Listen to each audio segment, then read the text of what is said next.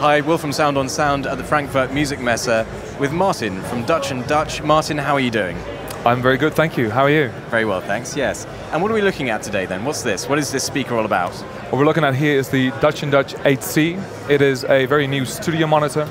It's of very high quality and it's uh, designed actually to sound very good in the room. Because if you take, um, well, there are other speakers that are very accurate monitors. We're not the only ones to make very accurate monitors. But um, one thing that is often forgotten or just um, doesn't deserve the attention it, it needs is the intera interaction with the room.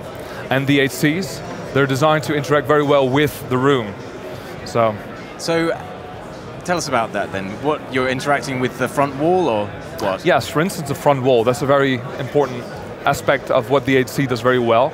Um, normally, if you put a monitor in a room, you get early reflections, you get boundary reinforcement, you get all sorts of stuff that affects the sound that you're hearing. And the 8Cs, they, um, they're actually designed to work very well with the front wall. So they're designed to be placed relatively close to the wall. And uh, for instance, in the back, there are two woofers. And the, um, if the distance between the, the back of the enclosure of the 8Cs and the wall is very small in terms of wavelengths, we are looking at long waves at low frequencies, then the woofers and the wall, they actually become one system. They couple to the wall. So you no longer have that reflection against the wall, which you would normally have, but they are one system. And you get one coherent wavefront that radiates to the front. So what's the, uh, the benefit there for the, for the user? For the user, the benefit is that the bass is tighter, it's more punchy, because you get that one coherent wavefront in instead of a smeared wavefront in time. You get a tighter, punchier sound, uh, more accurate bass reproduction. And for instance, if we look at the mid-range, it's a cardioid. So that okay. is very special actually. There are not that many cardioids out there. And how are you achieving that? That's a good question. That's uh, actually quite difficult to achieve. Um, a cardioid, you can basically form a cardioid by having two sources, one in front and one in the back. And what you do with the one in the back is you feed it the same signal, but with inverted polarity, and it has a delay, a time delay, that, uh, that corresponds with the distance between the two sources. Right. And what that source in the back then does is all the sound that comes from the front driver and is traveling towards the back, it cancels. Okay. So then you get a cardioid.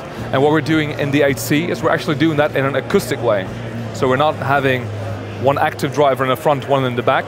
We're using the fact that as a driver moves forwards and backwards, that the sound that it creates on the front and the back, they're in antiphase with each other. Right, okay. So we're using that, and uh, we have a very special construction to filter the sound that goes into the enclosure so that we form the cardioid. But it's an entirely acoustic cardioid, so no right.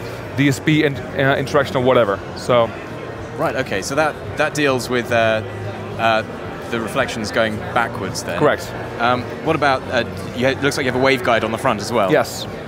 Uh, the waveguide is there to match the directivity of the cardioid. So a cardioid is narrower than a conventional um, monopole loudspeaker. And we wanted to extend that directivity to higher frequencies. So the 8C is actually a very constant directivity loudspeaker. And what that does is uh, you don't only get a very accurate sound of the accurate direct sound, but also all reflections, they have the same spectrum, the same tonal balance as the direct sound. And so if you, for instance, you're on axis, you get very accurate direct sound, but if you were to move off axis, you still get very accurate sound. It's only getting less and less loud as you move farther off axis. And that makes the sweet spot larger, but it's also all those reflections that you're still going to have in your room, they have the same tonal balance, the same timbre. Okay, and um, what about frequency response then?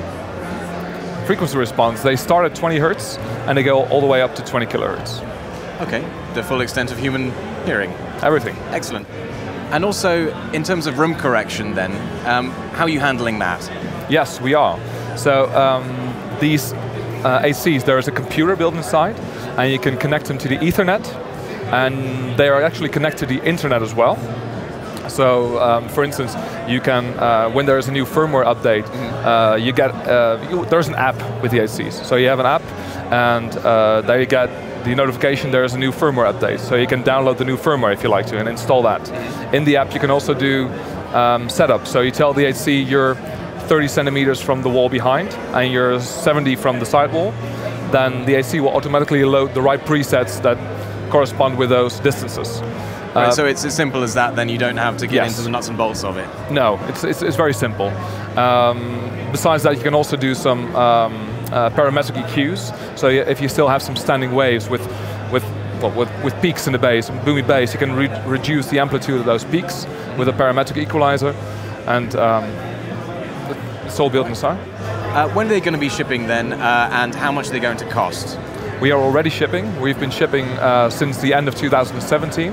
And the price in euros is, including VAT, 9,950 for the pair.